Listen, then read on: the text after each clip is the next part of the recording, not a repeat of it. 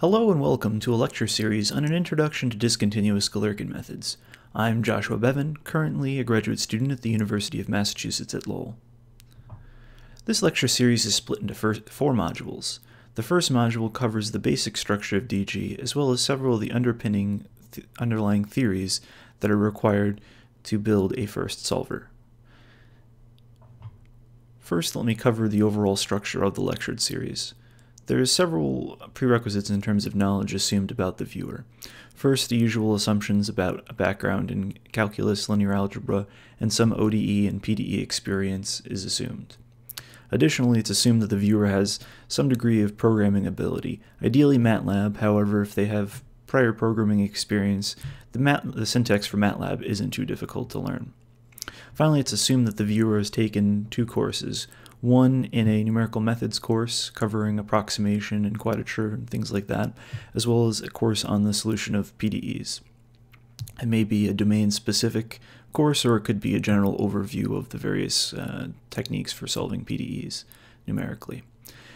It's also worth noting that this lecture is not intended to teach common underlying techniques, such as interpolation, for example, but when those techniques come up, if there's important features that we need to consider, then we may make special note of them. Here's a list of some of the prerequisites assumed from a numerical methods class. Don't worry if you don't necessarily have all of these, but a fair smattering of them is necessary for a full high order solver. Additionally, here are some prerequisites assumed in terms of uh, solutions of PDE's course. Again, you don't necessarily have to be an expert in all of these uh, various techniques, but an underlying familiarity with at least a couple of them will provide an interesting motivation behind why somebody would potentially use DG. Here's a listing of the various goals that ultimately would be achieved with the lecture series.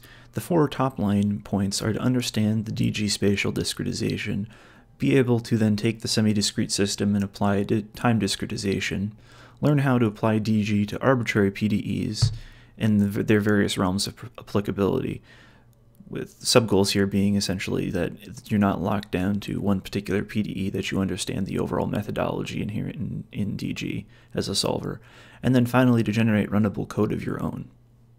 As previously stated, this lecture is split into four modules. We'll briefly go over each module now, so that if you'd like to skip ahead to a topic of interest, you could do so.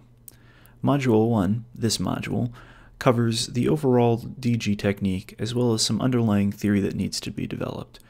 We'll work through the weak form derivation and then create a local element which we will then recover into a global solution.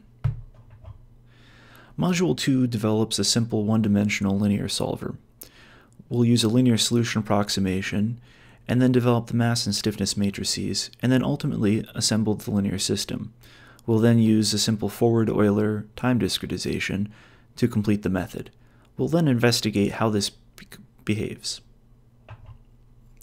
The first part of Module 3 covers the solution approximation.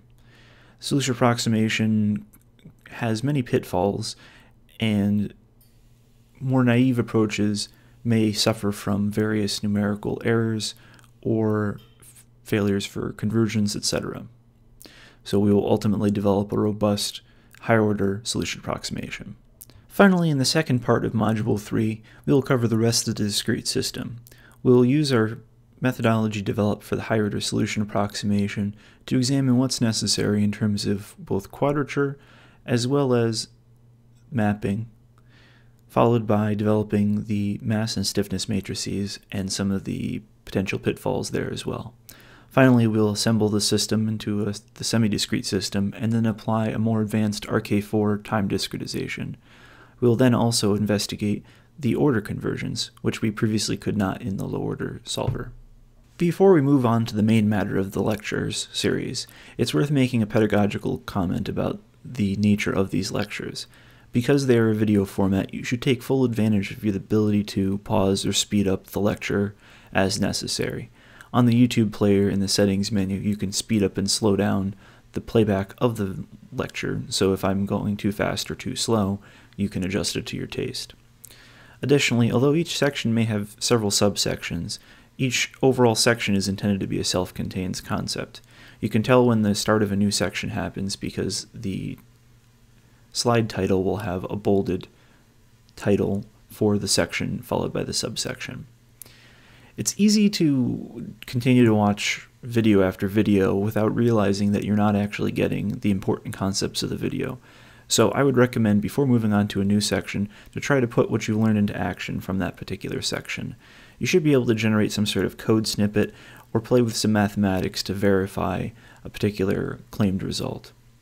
Finally, each module is also self-contained, but in a larger sense, and you should be able to put together something more substantial once you've completed a module. You should be able to hopefully have a fully runnable solver after Module 2, and then after Module 3a, you should be able to have a higher order approximation and interpolation routine, followed by finishing Module 3b, you should have a full-blown higher order one-dimensional solver. Before moving on to develop the theory of DG, let's first ask ourselves why somebody might use DG over more common methods. First, think about why somebody would use any of these techniques. Ideally, we'd like to solve a PDE numerically that describes some sort of physical system. The more accurately and quickly we're able to solve it, the better. In the context of this comparison, we'll be thinking about how any of the more common techniques scale with respect to increasing the order of the solution. We're interested in this because typically increasing the order of the solution can be a more efficient method, especially for smooth functions. Most commercial packages are low order. First start with finite differences. It's worth noting that finite differences is not explicitly conservative, and to move to higher order you need to use an extended stencil, which can be difficult to use for unstructured grids. Finite element methods easily extend to high order, but they're not very good for hyperbolic problems, and discontinuities in the solution are also troublesome. Finally, finite volumes give you a constant solution across the volume. So in order to move to higher order, you would need to move to an extended stencil, similar to finite differences. At low order, they support unstructured grids quite nicely, but in order to move to higher order, it ruins this flexibility. So what does DG do better than the others? Well, DG is explicitly conservative, and it's also well suited for hyperbolic problems. It's able to handle discontinuities, and you can still use unstructured grids even at high order. Additionally, the local nature of the solution permits good parallelizability for more complex problems. And then finally, you're able to use numerical flux functions, like you can in finite volumes, to capture the underlying physical behavior of the system.